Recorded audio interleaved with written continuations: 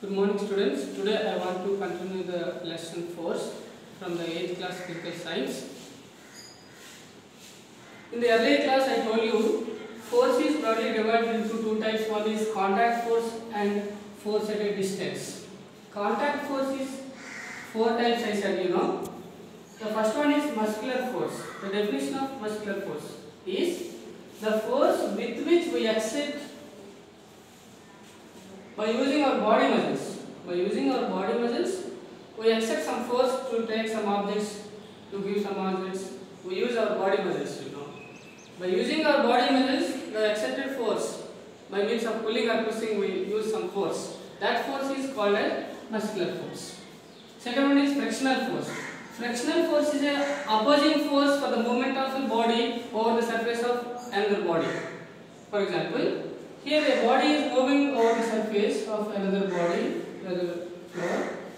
While it is moving with certain force, an opposing an opposition force, a resistance force results due to the irregularities up and down present in the floor, present on the surface of floor. This opposition force to the movement of a body over the surface of another body is known as friction or frictional force. Another one is normal force. The force that a solid surface exerts on any object in the normal direction is known as normal force. For example, a block was placed on the table surface. Here the table is the solid surface. The solid surface exerts some force on any object. Here the solid surface table, this surface applies some force in the normal direction on the book. That's why the book is not being falling down. This normal force means perpendicular force applied on the book by this solid surface is called as the normal force. Downward direction, weight of the book or gravitational force act on the book.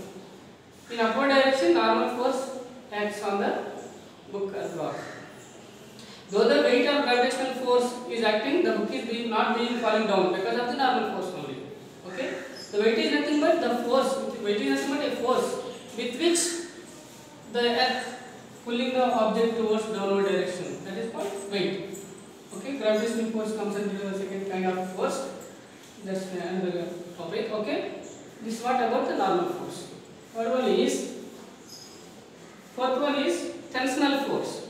Tensional force means let us consider a, a string here.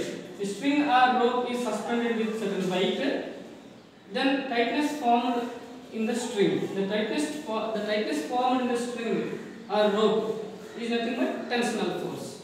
When we try to suspend, when we try to, when we try to stretch the string or rope, then tightness formed, you know, the tightness formed in the string is known as the tensional force. Tensional force will acts in the opposite direction to the weight of the body which is suspended to the string. Another one is as I said, force is divided into contact force and force at a distance.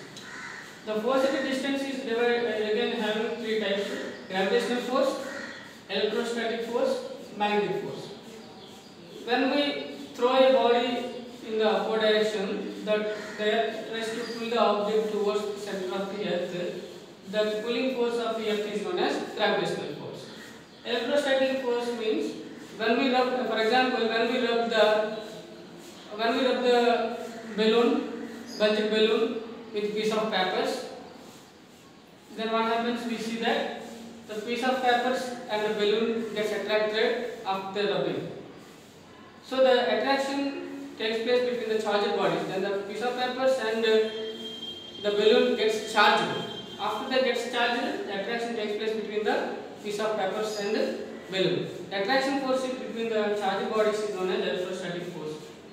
Another one is magnetic force. When we rub a nail, sieving nail with a magnet several times in the same direction, then the sieving needle formed as a magnetic material. One pole is north, another side is south pole. Again, another sieving needle is rubbed like so. That also gets magnetized. When we bring both of them near to each other, then the attraction or repulsion may take place between these two needles based on the poles what we brought near to each other. So that the attraction force between the poles or repulsion between the poles of a magnetic substances is known as the magnetic force. Next concept in the lesson course is the lab activity. This lab activity is used to find out the limiting force that can be bear by a thread. When we suspend a weight to a thread, the thread can bear up to certain weight only. After it breaks down.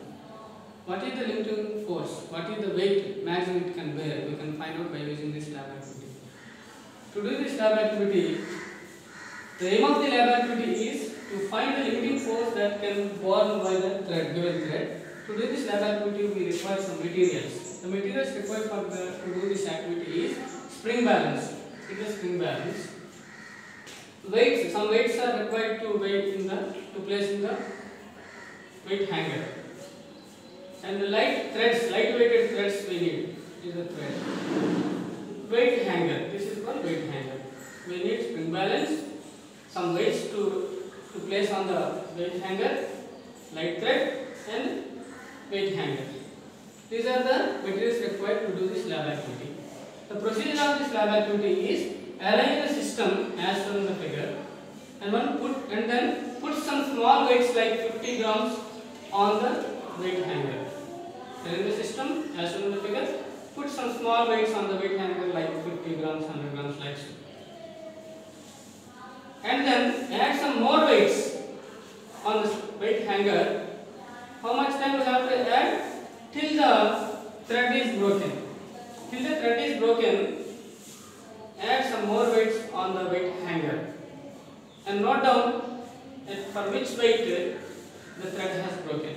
Note down for which weight the thread has broken. Where we can see the weight, readings of the weight in the spring balance, there will be a needle.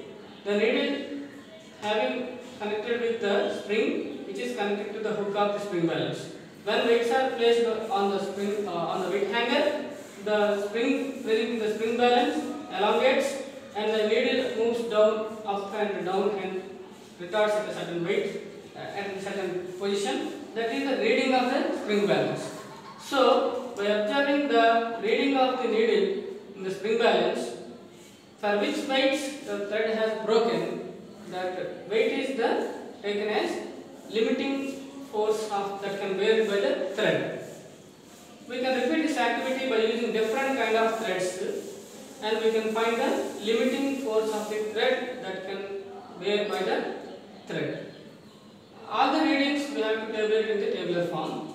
CLM take one kind of type of thread here and length of the thread we have taken right here and after that the weight for which weight the thread has broken recorded here. Similarly for different kind of threads of same length record these values of weight at which the, those threads has broken. In such a way we can find out the limiting force that can bear by a thread by using this lab activity.